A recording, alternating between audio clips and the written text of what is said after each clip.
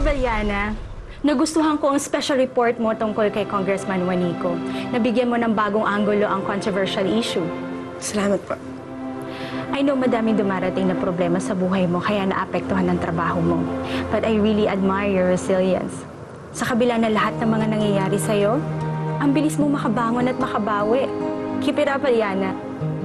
Lola, hangarin po ako dito kay Aliana, no? Kaya niya talagang harapin ang kahit na anumang pagsubok na dumating sa buhay niya. Ang bilis po niya makarecover sa depression, no, Lola Flora? At kahit may mga dumarating pong problema sa kanya, eh talagang nilalabanan niya to.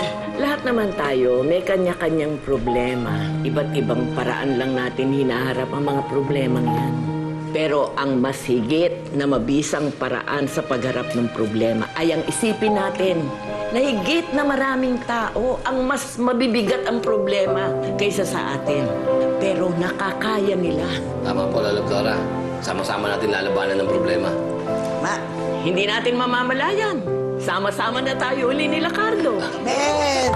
Wait, Alam mo, Liana, bilib na bilib din talaga ako sa'yo. No? Isang araw, galit na galit sa'yo si boss. Ngayon, proud na proud siya sa'yo. Kung ako lang sa kalagayan mo, matagal na ako nag-quit dito.